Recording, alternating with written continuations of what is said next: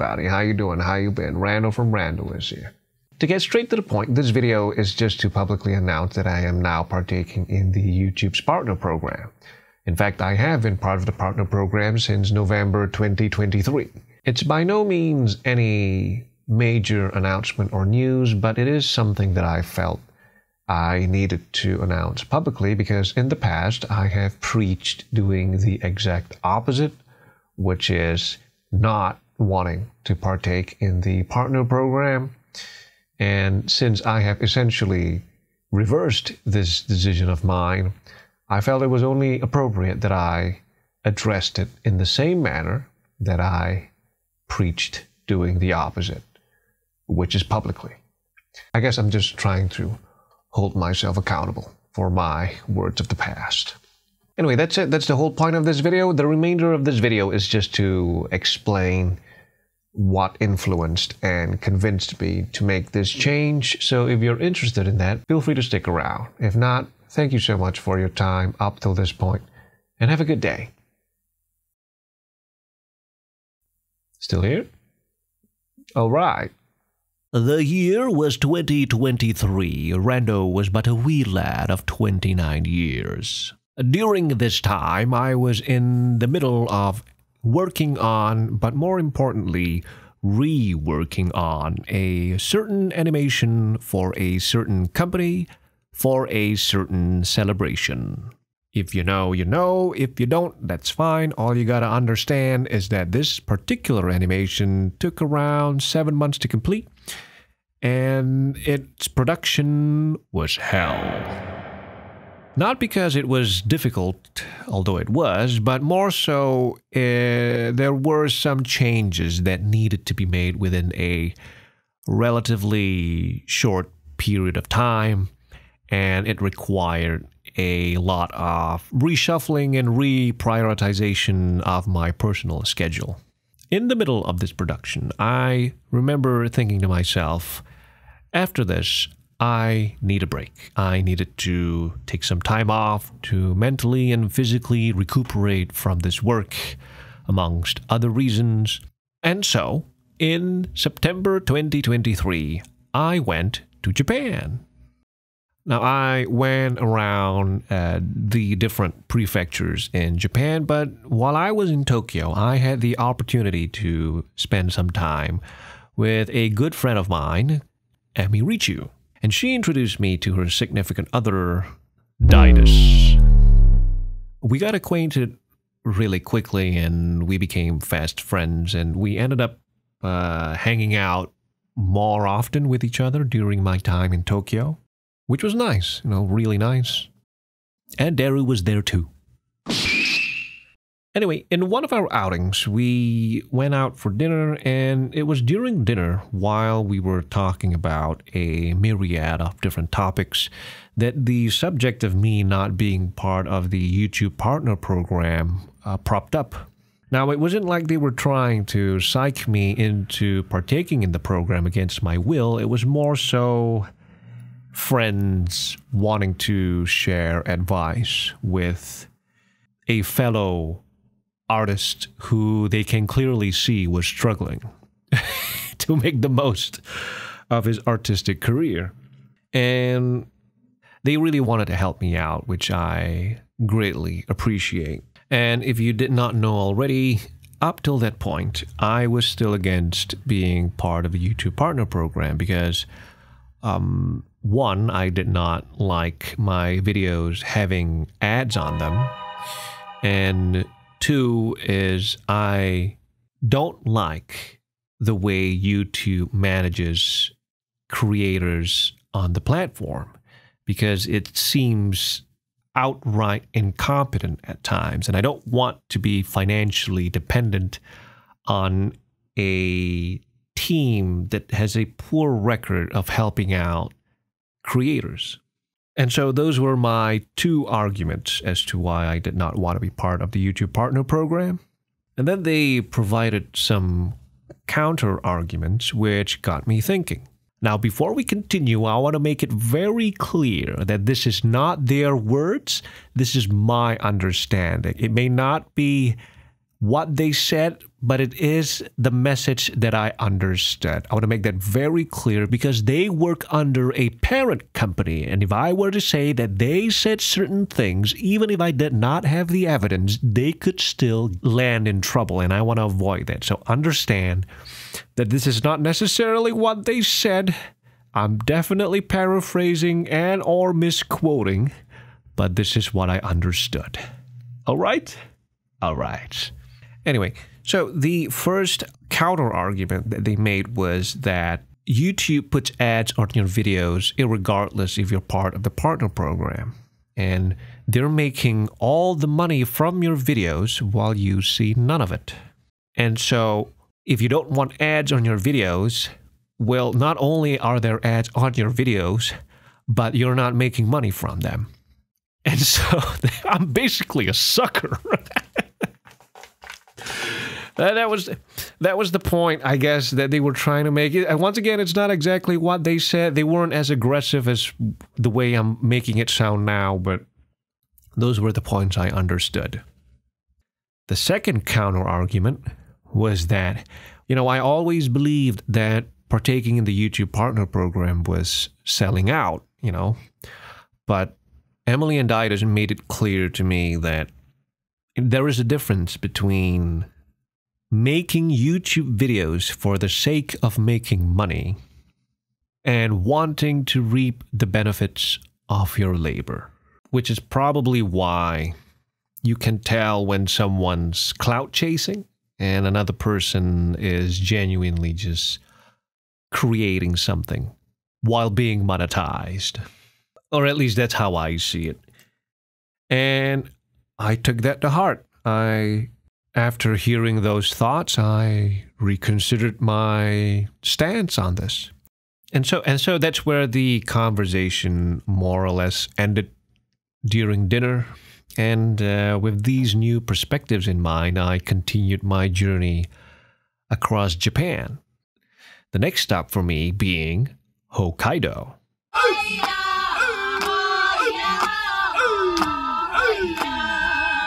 Specifically, I volunteered at a farm in Hokkaido for about uh, I think I think it was a couple of weeks uh, just to get a different experience in life, something that I am not familiar with, farm work basically. And it was in Hokkaido, in this farm, that I was convinced that yeah, maybe I should be part of the YouTube Partner Program. Because what happened was the other volunteers and the hosts themselves were interested in my YouTube videos. And so when they searched it up, that's when I noticed that every video that they tried to pull up had an ad on it.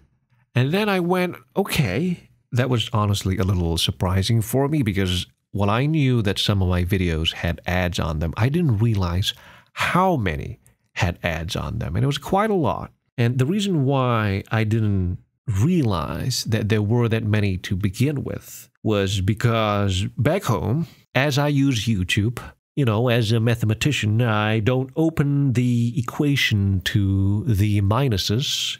I instead blockade the additionals. This is commonly abbreviated as blocking the ads. And so, having my eyes opened at the viewer experience of my YouTube channel as someone who's not a mathematician, it convinced me that, yeah, I'm I'm just a sucker right now because I'm not seeing any of the revenue that these ads are making on my videos. Now, out of curiosity, I visited Social Blade, which is a statistics tracking site for YouTube channels, for lack of a better description. And uh, the, the image you're about to see is doctored, but when I visited the site back in November 2023, after I got back from Japan, I saw that my channel was making up to 15,000 US dollars per year. And you want to know how much of that money I saw? None of it. You know why? Because I'm not part of the YouTube Partner Program. Now, look, I may not have a wife or kids to call my own, but I do have a family that I've taken the responsibility to shelter and feed.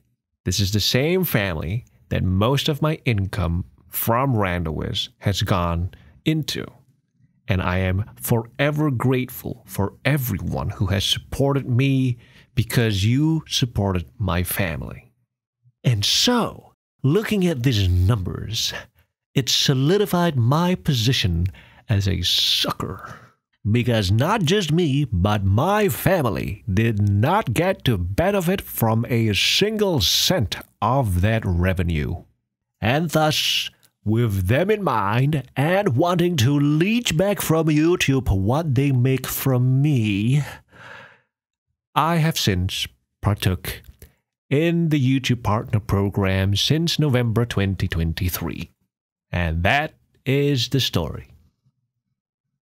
I think it was in one of the older videos where I made a comment speaking really sternly against wanting to be part of the partner program. All right, here we go. Uh, it's the Have Some Fun animated video. And the comment that I made was that I refuse to be part of the program as I do not wish to earn money from my videos. And as a reminder to myself that I do this for the fun of it. It's a statement that hasn't aged so well, in my opinion. But you know, look, looking back at this comment, I think, I, I think I was just insecure about being a sellout. All those years ago, when I made this comment, you know, there is there is that saying that if you enjoy doing something, don't do it for money, but if you're good at something, don't do it for free. And I think this comment was made during a time when I was insecure, if not unsure of being able to find that balance of work and income. If I could talk to this rando, if I could talk to this rando, I would probably tell him what I said earlier in the video that being it's not about selling out, it's about reaping the fruits of your labor. You know, this change of perspective has ha- has has helped me come to terms with putting ads on my videos, despite saying earlier that I don't like ads on my videos. And so I hope you understand this change in perspective, and I hope I'm, i was able to explain myself as clearly as possible.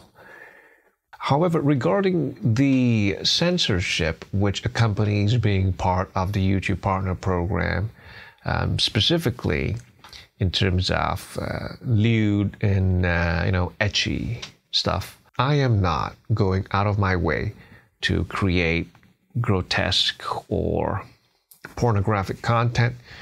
Maybe a little raunchy, maybe a little inappropriate, but still safe for work. But I am not deliberately trying to break every terms of service that exists on this platform, at least in terms of content creation. And so, if YouTube ever approaches me with a request or even a demand to censor my content or risk getting demonetized, I would rather my content be demonetized. And that is to uphold the principle of not doing it for the money. You know, I, I don't make that much money from my videos anyway, you know, ever since the rates have been revealed to me. Um, so if it means losing a few bucks just to be able to keep some anime oppai and oshiris on the screen, go ahead, keep that money. You sons of bitches. However, I won't go down without a fight though. I will appeal the process as much as I can. Should that situation arise, assuming the video does get demonetized and I do miss out on a good chunk of revenue, then not to worry because there's always GamerSupps. Code Rando for 10% off. I mean, look at this. Who wouldn't want that for 10% off? Smells like chlorine. Or you can get a. Hello, everybody. Post edit rando speaking uh, from the future. Unfortunately, the footage that you see behind me right now was recorded in mid May, back when the Lu plush was still on sale, and unfortunately, it's already July, which means that the sale has been over for quite some time now. So, my apologies. And I just quickly wanted to mention that if you are interested in getting anything RandoWis merch related, I am working on a merchandise store, but I would like to produce a little bit more RandoWis content first because the most recent RandoWis videos, or at least most of them, have been merchandise related. And so I don't want to make another merchandise related video so soon. And I, I hope you understand, but, uh, you know, hopefully you look forward to that. Anyway, that's all for the announcement. Thank you so much. Uh, back to the video. Anyway, if you want to support the channel, those are some of the few ways that you can support the channel, or you can just watch and like my work, that's fine too. And if you don't like ads, if ads really bother you, then I cannot encourage you to get an ad blocker because ad blockers are against YouTube's terms of service.